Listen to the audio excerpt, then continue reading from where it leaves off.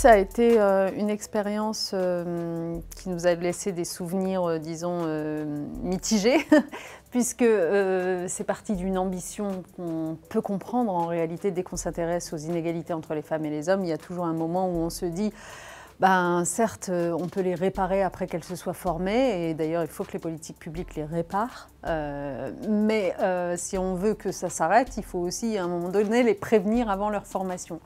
Or, où se forment les inégalités entre les femmes et les hommes? Dès le plus jeune âge, euh, dans tous les cercles sociaux, y compris euh, à l'école. Et donc, euh, ça veut dire qu'il faut qu'on ait une éducation à l'égalité qui vienne en prévention dès le plus jeune âge pour éviter tout ça.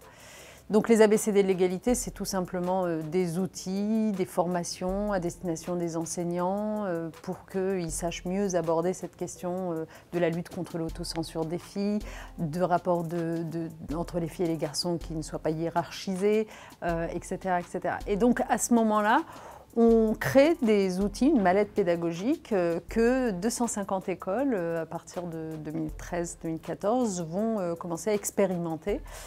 C'est au fond un programme à la fois ambitieux et très innocent. Euh, il s'agit notamment euh, de faire en sorte que les métiers euh, ne soient pas considérés comme faits pour les garçons faits pour les filles. Vous voyez, c'est quand même assez innocent.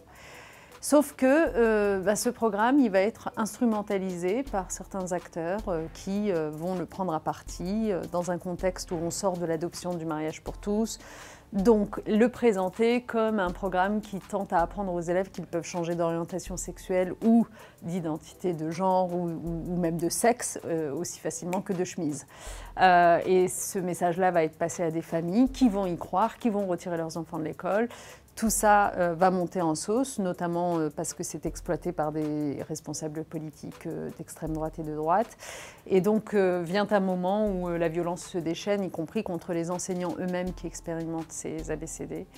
Et c'est à ce moment-là que c'est plus acceptable parce que euh, vraiment les menaces euh, sont trop importantes et on décide alors de mettre un terme, de refermer la parenthèse des ABCD de l'égalité, de les évaluer et de faire passer dans ce qu'on appelle le droit commun, notamment la formation des enseignants, tous les aspects qui nous ont paru euh, positifs. Euh, c'est ainsi que, cette aventure se terminera euh, en, nous laissant, je le disais, un goût d'amertume parce qu'on a un peu le, sentiment quand même d'avoir euh, été pris dans une espèce de machination qui nous dépassait et qui avec le temps, nous apparaît comme étant quelque chose de mondial en fait. Partout, les résistances à euh, l'égalité femmes-hommes s'expriment et partout, elles prennent cette forme très malsaine et qui inquiète et angoisse beaucoup euh, les parents d'expliquer que sous couvert d'égalité entre les filles et les garçons, en fait, on cherche à gommer totalement les repères de genre et à expliquer à chacun que c'est très facile de changer d'identité sexuelle. Euh, et ça, ça rencontre une anxiété identitaire hein, euh, évidente dans nos sociétés. Euh, et c'est ce qui fait que généralement ces manipulations prennent au point où on le voit à nouveau en Belgique en ce moment. donc il faut lutter contre ça. Et puis surtout, euh, il ne faut pas s'en laisser compter. En fait, ce sujet est absolument majeur. Ce n'est pas un sujet gadget, ce n'est pas le sujet qui viendra après qu'on aura euh, réglé tous les autres.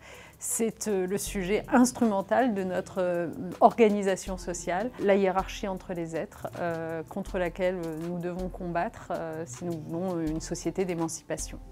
Il y a des choses évidemment que, j'ai retenues de cette période, euh, des leçons, et notamment, je me souviens, au lendemain de tout ça, je me disais euh, peut-être que la formule expérimentation euh, n'était pas bienvenue parce que certains parents finissaient par vous dire mais nos enfants ne sont pas des rats de laboratoire. Peut-être qu'il euh, aurait fallu faire une transparence absolue euh, sur l'intégralité des outils qui étaient mis à disposition des mallettes pédagogiques. Bon, la vérité, c'est qu'on pouvait les trouver sur un site internet, mais enfin, peut-être qu'il aurait fallu encore communiquer davantage pour lever tous les doutes, etc. Donc, si vous voulez, enfin moi en tout cas c'est ma personnalité, euh, quand je sors d'un combat comme celui-là, je me dis pas j'ai eu raison en tout, les autres sont tous des abrutis. Je, prends quand même le temps de la réflexion sur euh, peut-être euh, là où on a eu quelques lacunes de communication, d'insuffisante mobilisation aussi, j'allais dire d'alliés pour élever la voix quand ça allait mal, et notamment dans le monde de la recherche, dans, le monde des syndicats, enfin bon voilà, il n'y a pas que le politique, en fait il ne faut pas qu'il soit laissé seul le politique dans ces moments-là.